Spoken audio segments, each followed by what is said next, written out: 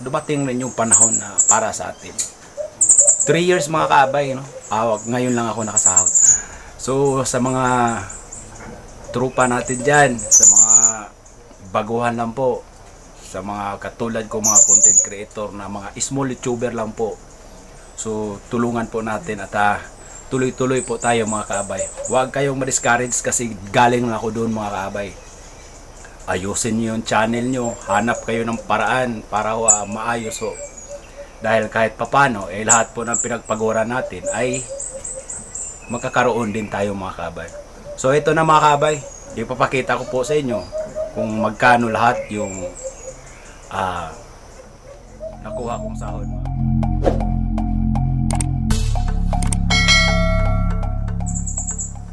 So magandang araw sa inyo mga kabay at ah, welcome po ulit sa aking channel mga kabay. Ah, Kuya Glenn TV, ayan po mga kabay. So wala tayong force adventure ngayon mga kaabay at ah, wala din tayong update. So for today's video mga kaabay, ah, gusto ko po magpapasalamat mga kaabay no.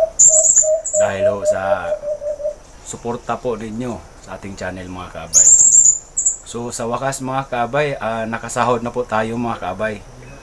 Ah, 3 years mga kaabay bago tayo nakasahod. So, maraming maraming salamat po sa suporta ninyo mga kaabay. So, siyempre, maliit lang po yung sahod ko. Kaso, nadagdagan mga kaabay kasi ho eh, may nagbigay sa akin ng dollar mga kaabay. So, shout out sa iyo sir no. Maraming maraming salamat po sir. So, sana ho may iba pang vlogger na katulad ko na matulungan nyo. So, binigyan ako niya ng dollar mga kaabay. Hindi na lang po daw ah, sambitin yung pangalan niya. Kasi ah, yun po yung sabi niya sa akin. So, na-appreciate niya yung video ko mga kaabay. Ah, yung ginagawa ko nga sa paghunt mga kaabay na ginagawa kong wise yung mga alimukon. Sir, maraming maraming salamat po sa iyo, sir. At ah, siyempre, nasabay to mga kaabay, yung sahod natin at saka yung binigay niya. So, grabe. Hindi ko inasahan mga kaabay na ah, makasahod na ako.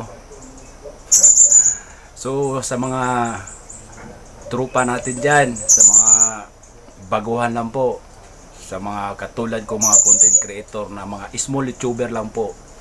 So tulungan po natin at ah, tuloy-tuloy po tayo mga kaabay. Huwag kayong ma-discourage kasi galing ako doon mga kaabay.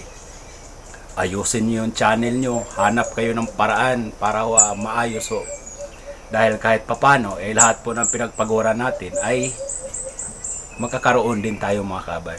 So ito na mga kabay, ipapakita ko po sa inyo kung magkano lahat yung ah, nakuha kong sahod mga kabay. At saka yung nagbigay sa akin ng dollar dahil masaya po siya sa ginagawa ko mga kabay na hindi ko kinakata yung alimukon, ah, hindi ko inibinta.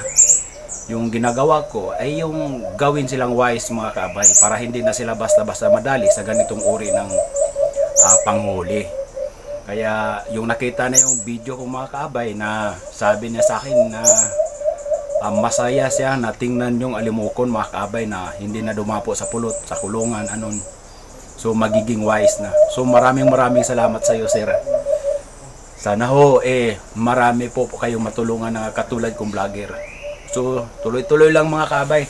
So ito na mga kabay. Ay pakita ko po sa inyo kung magkano po yung nasahod ko mga kabay.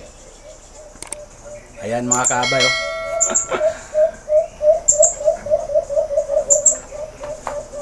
So ito na mga kabay, yung nasahod natin mga kabay. Ayan po. Ayan mga kabay oh. Ayan. Kahit hindi ko kalakihan, eh, napakalaking tulong po mga kabay para sa atin. So yung gagawin ko po dito ay siyempre babalik din natin doon sa Alimoko na content natin. Ah, bali puntahan ko yung mga lugar mga kabay kung saan yung mga silent hunter mga kabay. Para ho ah, kumakita po ako nung naka-stockage sa limokon. Ay gusto ko bilhin yun mga kabay tapos i-release ko dito sa amin mga kabay. So ayan po mga kabay oh. ayan. Bago po ito mga kabay dahil gali po ng bangko to ayan oh. ayan mga kabay. So sir maraming maraming salamat po sa iyo sir. So ayun mga kabay no? Uh, sa susunod na video eh baka makabili tayo ng alimokon. So sana makamura tayo mga kabay para marami-rami tayong ma-release mga kabay. So ayan, sa mga baguhan lang po dyan, ito challenge sa po to sa inyo mga kabay. Na Tuloy-tuloy lang. At saka, huwag kayong ma-discourage mga kabay. Kasi ulitin ko, galing na po ako doon. Ito mga kabay, oh. Ayan. so, siyempre masaya ako mga kabay. Kahit papano, eh, may naka-appreciate po sa ginagawa ko. Yung description ko, eh, gagawin kong wais yung mga alpas na limukon. Gusto kong dumami pa sila sa gubat, ganun. Wala tayong sinaktan, wala tayong ah, ano. So, pumipili lang din po ako kung kung may magustuhan ako mga kabay. Kahit o ah, mahuni sa gubat, pagka hindi ko kusunada yung huni, ah, release ko yun mga kabay.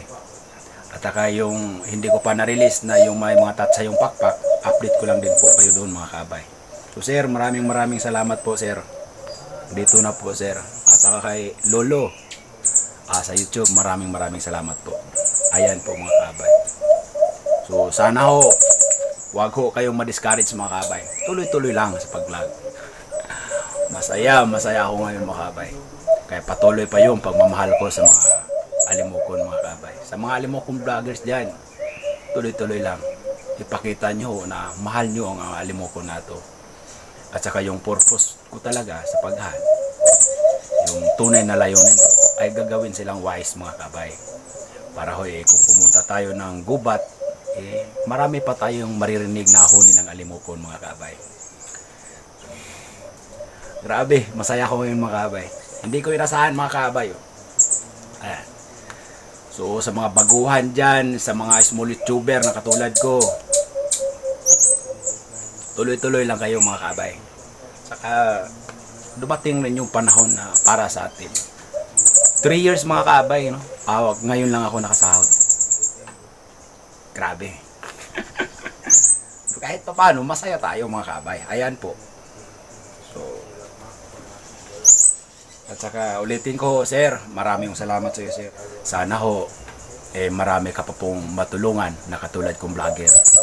So, ha, hindi ko akalain mga kabay. Masayang masaya ako ngayon mga kabay. So, maraming maraming salamat po sa panood niyo mga kabay, no? At ah, God bless po.